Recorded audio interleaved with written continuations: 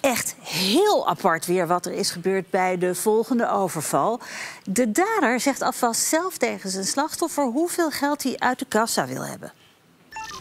Ga met ons mee naar Steenbergen. Daar zit aan de Nassaulaan een tankstation waar het vrijdagavond 21 oktober rond kwart over zeven net even rustig genoeg was om alvast wat te poetsen. De enige medewerkster op dat moment staat daardoor met haar rug naar de deur.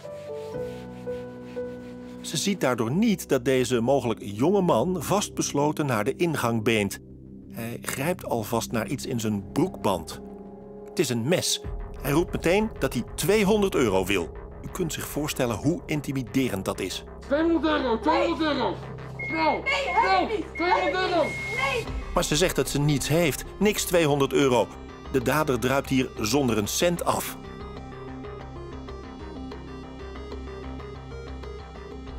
Het camerasysteem legt nog net vast dat hij met zijn fiets vertrekt. De politie is op zoek in Steenbergen naar een man met een lichte huidskleur, 1,70 meter lang. Er wordt snel burgernet ingezet die avond om de overvaller te vinden. Deze persoon niet zou benaderen, maar belt u 112. Einde bericht. Maar een uurtje later werd dit bericht verspreid. De burgernet-deelnemers en de politie konden de man helaas niet vinden. Maar u thuis vanavond hopelijk alsnog wel. Er zal toch iemand zijn die vermoedt wie hier zo met dat mes dreigt en zo dringend die 200 euro wil hebben. U mag ook anoniem tippen. We zien zijn huidskleur. De medewerkster zag nog dat hij een beetje getint was en donkere wenkbrauwen had. Het lijkt erop dat hij zijn jas binnenste buiten droeg. Komt misschien omdat hij zo'n haast heeft, maar zijn benen lijken een beetje krom.